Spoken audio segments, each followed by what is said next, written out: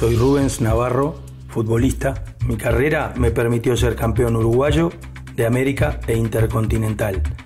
Pero lo que más me dejó mi carrera fueron los amigos, aquellos con los que vamos a compartir mano a mano con la gloria.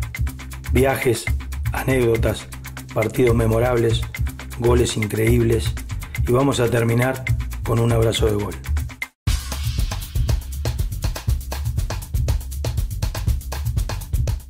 Queridos amigos de Mano a Mano con la Gloria, una vez más con todos ustedes, eh, aquí hablando con amigos de, la vida, del fútbol. En el día de hoy eh, contamos con un campeón sudamericano, con un vasto recorrido por varios equipos de nuestro país, nacido el 6 de agosto de 1959, eh, campeón sudamericano juvenil con la selección uruguaya. Estamos en presencia de Roberto Ro. Bienvenido a nuestro programa. Muchas gracias, Rubens. Este, es un, un, gusto estar acá con ustedes para hablar de fútbol y de... Acá vamos a hablar de todo, de la vida, del fútbol, Bien. de las actividades de antes, de las de durante, bien. de las de ahora. Pero por sobre todas las cosas, todo tiene un comienzo. Y una de las cosas que nos gusta que, que nuestros televidentes escuchen es cómo empiezan a entrar los chicos de aquella época, los grandes de hoy, dentro del fútbol. Si fue el barrio, el Babi. ¿De qué barrio era, Roberto? Eh, yo me crié en la zona de Camino Carrasco y Veracierto. Este, allí jugaba en un equipo que se llamaba Zapicán, equipo baby fútbol. Y terminado el baby fútbol a los 14 años, me fui a probar este, en una cita de aspirantes al Forno, al Hugo Forno, que queda en Te quedaba cerquita. Camino Carrasco y Gallinal. Este, el mismo día que fueron otros compañeros míos de Danubio y bueno, después de una prueba quedamos para integrar este, los planteles juveniles de Danubio. Caso- ¿Fuiste por la tuya o hicieron alguna bandita para ir? Viste, por lo general se juntan entre los cuatro y dicen, vos vamos, que hay aspirantes. ¿Cómo te enteraste? No, como siempre, este, siempre mi papá en aquel momento buscó un contacto, que era un dirigente de juveniles de, Nacional, de, de Danubio en aquella época, y le dijo, bueno, que fuera a la práctica. En aquel momento el entrenador era eh, el chino Salvá, el profesor Gesto, y, este, y bueno, hicimos la prueba. El mismo día también fue Malvares, también fue Alaguich y otros chicos que después este, tuvimos la suerte de, compartir planteles en Danubio. Este, así que bueno, eso fue en 1975. Ahí tuvimos la suerte de, de jugar ese primer año. ¿Cómo estaba ese forno?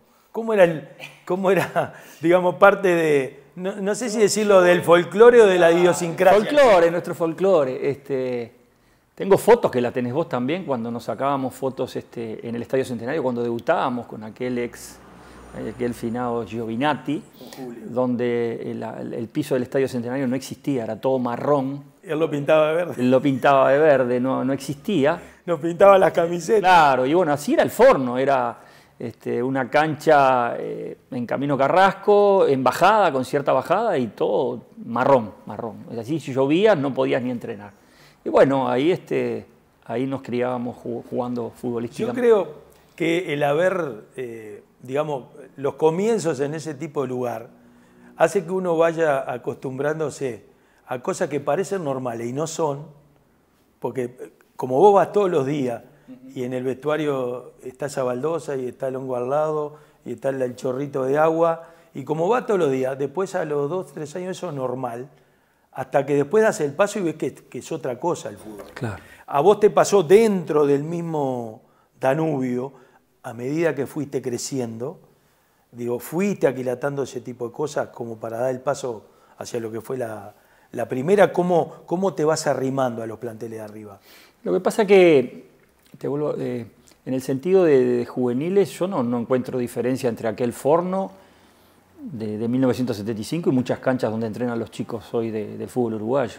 Seguimos siendo este, lamentables en cuanto a la infraestructura.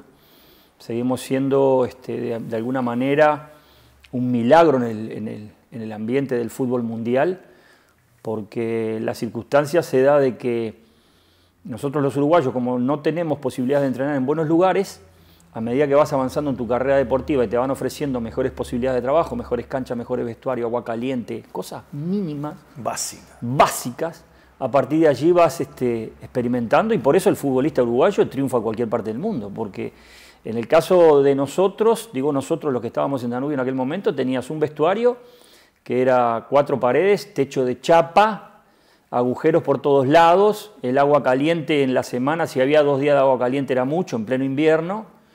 Este, y bueno, y como decís vos. Era el día que festejaban los cumpleaños. El día, seguro, era como era una fiesta. Tener agua caliente un día en el forno era, era realmente impresionante. Y bueno, y hoy pasa eso increíblemente, después de 45 años, sigue pasando en, los equipos del fútbol uruguayo donde este, las divisiones formativas siguen teniendo carencias brutales, a pesar de que en los últimos 10 años los equipos se han dado cuenta de que tienen que invertir en sus divisiones formativas y, bueno, han aparecido, han aparecido en, muchos equipos complejos deportivos que lo que han ayudado a que algunos equipos este, eleven, eleven el nivel de sus jugadores. ¿no? Por eso este, es importante que, que se invierta. Lo que pasa es que lamentablemente no hay dinero y al no haber dinero el dinero se vuelca fundamentalmente al pago de sueldos de jugadores. Y a veces este, yo que he estado, y vos lo sabés, en muchos aspectos vinculado al fútbol y últimamente también como gerencia deportivo, como coordinador de juveniles de Nacional y bueno... Eso ya vamos a tener un bloque aparte. Este, te das cuenta de cómo es la situación, o sea, seguimos siendo un milagro en el fútbol, esa es la realidad. Eh, ¿Quién te recibe cuando llegas a Danubio?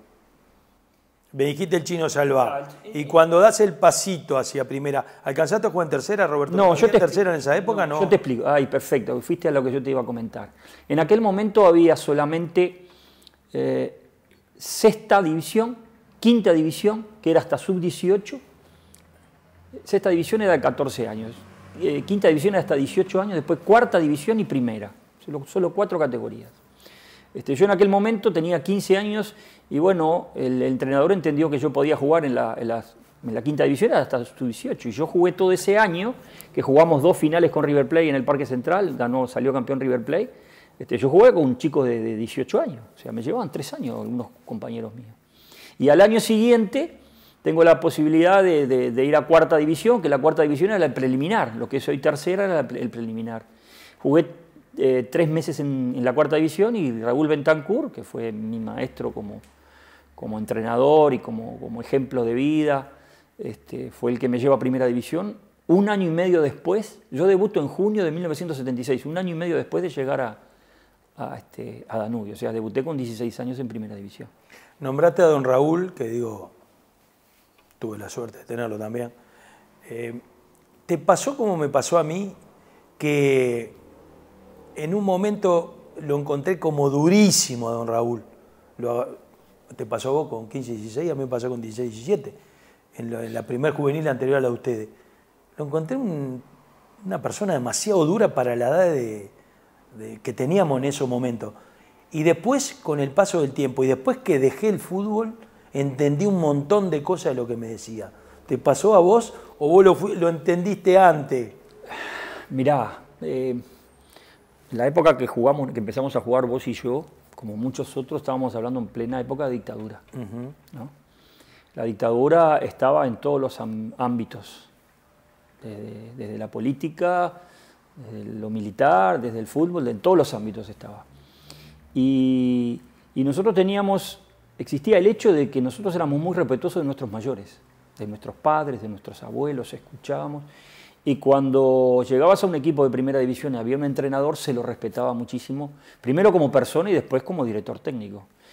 Y las indicaciones que te daban o, aquellos parámetros que te mostraban en cuanto a cómo tenías que manejarte en la vida y en el fútbol, era respetado por nosotros, porque no era como es ahora que, un técnico le dice a un jugador tal cosa y ves que el jugador o, o lo saca en el entretiempo o lo saca de un cambio y el jugador demuestra, este, hace un, gesto hacia la tribuna, cosa por el estilo. En esos momentos no existía, porque si vos le faltabas el respeto a un entrenador, era el acabose, chau, hasta luego y dedicate a otra cosa.